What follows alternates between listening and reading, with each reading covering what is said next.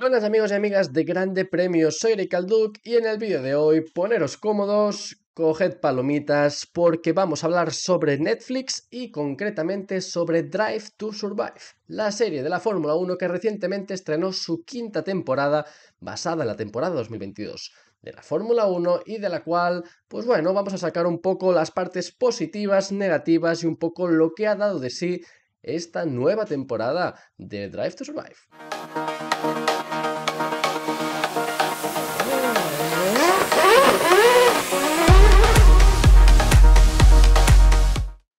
Como hemos comentado en la introducción, hoy toca hablar sobre Drive to Survive, la serie documental de la Fórmula 1 que narra en esta quinta temporada lo que ocurrió durante la temporada 2022 de la categoría reina, y en la cual vamos a repasar un poco lo que ha dado de sí esta, esta nueva temporada. Desde 2018 viene narrando eh, analizando un poco los bastidores de lo que ocurre dentro de la Fórmula 1 a lo largo de todo el año y en este caso fue la temporada 2022. 10 episodios que se reparten por 10 temas diferentes, no de forma cronológica, sino cogiendo una temática concreta de lo, que ocurre a lo largo de la temporada y repasando pues un poco las voces eh, más importantes de cada tema, incluso con Will Buxton el reputado periodista de la Fórmula 1 un poco narrando también los hechos y cogiendo pues especialmente la voz de los pilotos y jefes de equipo.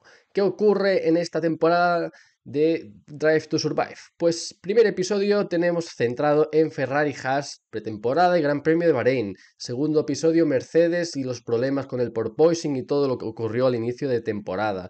Tercer episodio la guerra interna dentro de Ferrari Sainz Leclerc eh, un poco también todos esos problemas de estrategia y desastres que hicieron Ferrari a lo largo de, 2022. Cuarto episodio, Haas y el problema de Schumacher y esa falta de competitividad que al final pues, puso en peligro su asiento en el equipo. Quinto episodio, Alpine, focado especialmente en el culebrón de verano eh, y el movimiento de mercado de, de fichajes. Sexto episodio un poco por esa misma línea, pero con Daniel Ricciardo, la falta de competitividad del piloto australiano y un poco también ese movimiento McLaren Alpine.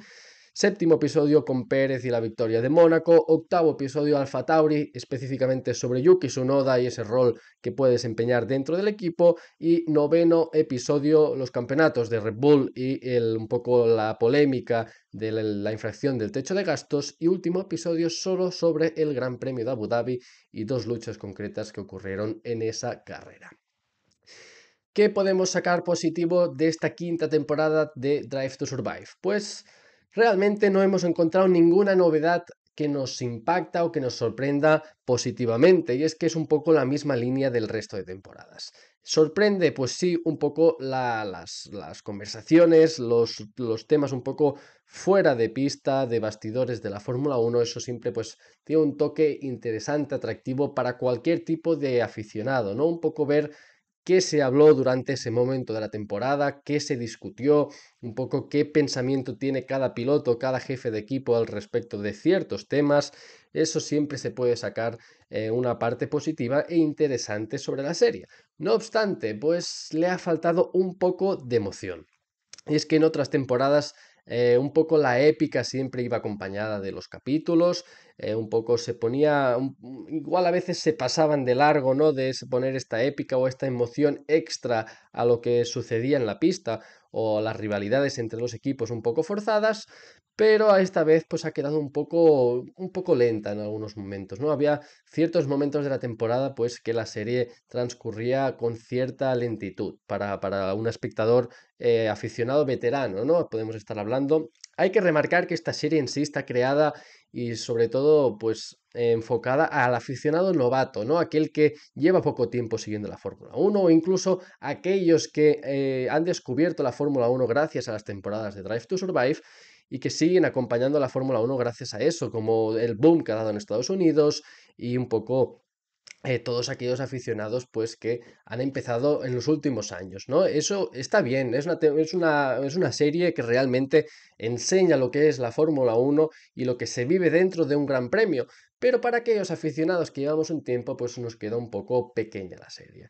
Sí que se han encontrado también un poco repetitivas ciertas carreras, daba la sensación que eh, solo en aquellas carreras que Netflix podía grabar in situ dentro del Gran Premio, eh, remarcaban los temas, aunque sean un poco forzados, ¿no? Por ejemplo, el Gran Premio de Bahrein apareció hasta en dos, hasta en dos episodios prácticamente de la misma forma y un poco en la misma línea. Eh, los grandes premios hechos en Estados Unidos, el Gran Premio de Abu Dhabi, que no tuvo prácticamente nada de interesante, porque ya estaba todo decidido, se le dedica un episodio entero a dos batallas insignificantes para la Fórmula 1 y en cambio, carreras como Silverstone o como incluso Brasil, que no aparece prácticamente nada de Brasil, que fue seguramente el mejor gran premio de la temporada, con la pole de Haas, con la victoria de Mercedes y no aparece más que cuatro pinceladas.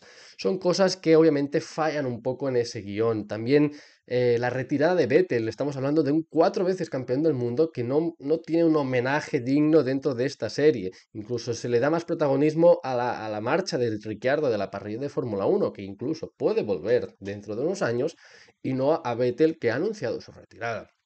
Son cosas que igual fallan un poquito, ¿no? Para, para un aficionado medio de la Fórmula 1, un aficionado veterano, y que realmente le quita un poco de interés a esta serie.